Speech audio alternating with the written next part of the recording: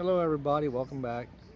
So most mornings or not not lately, but used to be most mornings we come down to the beach, walk around, pick up trash. Uh, so today we're going to walk around the beach a little bit and I'm going to give us the uh, one month total of what it cost us to live here. Because they say you can live here for 10 to 12,000 US dollars to live a Western lifestyle and I've always said I don't believe it but we're going to try and see if it's true. And so today I'm going to give you all of our figures for one month. It might be off by 100 or 200 pesos but that's going to be about it because we've kept pretty good records of everything. So so here we go. We're going to just walk around the beach and I'm going to give you us all the figures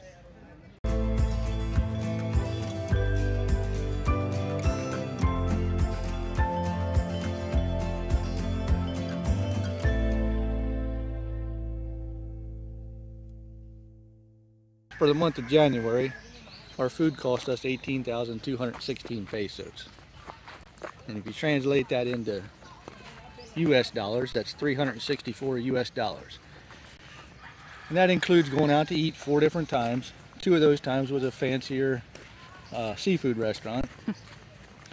and I don't eat rice, so that runs the cost of our food up also.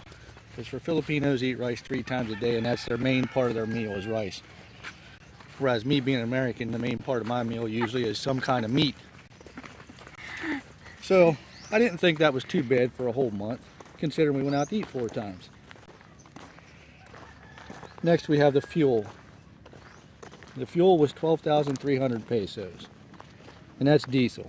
That's for the truck and for our generator. So considering we ran a generator for about a week and a half and that takes uh, cost about a dollar an hour to run the generator.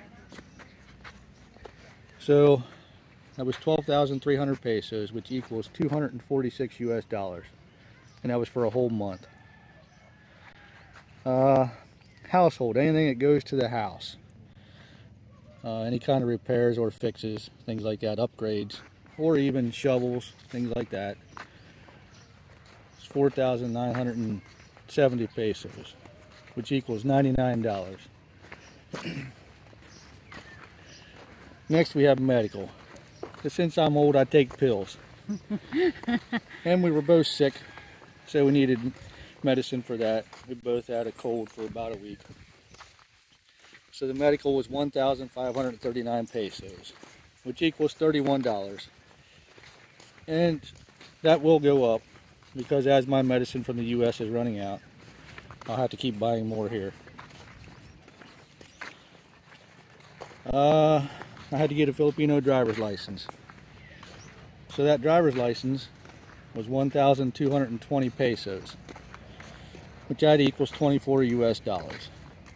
A little expensive and a very long drawn out process took us pretty much most of the day.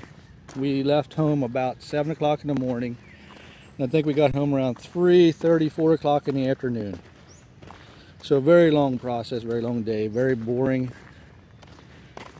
And I got to go back because somehow my driver's license number is not correct. I got the same one as somebody else. So I'm sure I'll probably have to pay another 1,220 pesos again. But we'll see.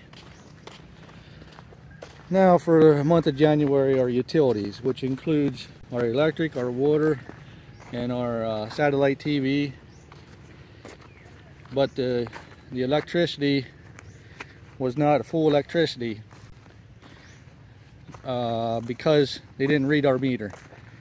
So we only got billed partially. So our utilities for the month of January was 749 pesos, which equals 15 US dollars. Next, we have beer. Because my wife likes to drink beer. so that was 9,279 pesos. That make you snort, huh? so that equaled about 186 US dollars. Now that being said, my wife was sick for a week, so she didn't drink as much there. so next month that could go up. And then next on the list we have uh, massages. We each had two massages for the month. So for four massages, that's 3,000 pesos, which equals 60 US dollars or $15 per massage. And that masseuse comes to our house, and that's for one hour per person. So a total of four hours for 60 US dollars. That's a pretty good bargain as far as I'm concerned. Yeah, because the US costs like $60. About $60 for an hour or less. Yes. So, so for the total of the month, to live a Western or a US lifestyle in the Philippines, cost us 51,273 pesos, which equals 1,025 US dollars. So that isn't bad. But for us, we have and do other things, so it cost us more. So for the rest of our total, we did a giveaway of 110 flip-flops to kids on a remote island that got hit hard by the Typhoon Odette. So that cost us 6,785 pesos or 136 US dollars for 110 kids, which isn't bad. We also have a farm. So for the pig's food for that farm, cost us 13,600 pesos or $272. And we also have workers to pay, which was 7,000 pesos, which is approximately 140 US dollars. So our grand total for all that was 78,658 pesos or 1,573 US dollars for the whole month of January. So if we didn't have a farm or do any kind of give back stuff to people, we would have been, like I said, at 1,025 US dollars. So that would be close to the 12,000 US dollars per year. But every month we're going to give back in some way or somehow.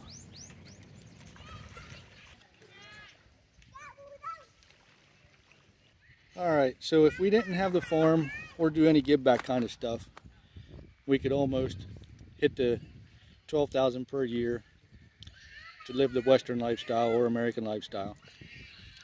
So every month we're going to do this for one year to see how close we get to the 12,000 if we didn't have the farm or do any giveaway stuff to see. I, I think we'll probably hit between 12 and 13,000, but we'll wait and see. And every month we plan to do giveaway stuff. So some months it'll be more than others, of course. And the same with the pigs. Uh, once they have piglets, the, the food will get more expensive. So there'll be a month or so in there where the price of the pig's food goes up. But then once we sell the piglets, the price will be dropped back down. So it'll all equal out in the end. Now everybody always asks me how much is gas there. So I don't really know usually because we don't buy gas. We buy diesel because our truck's diesel and the generator's diesel. So for those of you in the US that go by gallons, here diesel is approximately $4.32 a gallon. Because everything here is in liters and it's all in pesos, so I gotta do the conversion. My conversion may be off a little bit, but it's fairly close. So for those of you with gas,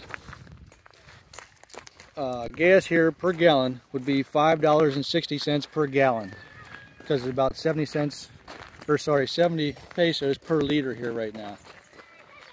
So I'm not sure what gas is in the U.S. right now, but that's what it is here in the Philippines. I'm sure it's more here because everything is here on this island is more.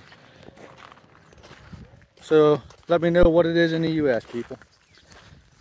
And thanks for watching. I hope you enjoyed this. Please like, share, and subscribe. Thank you. Have a great day.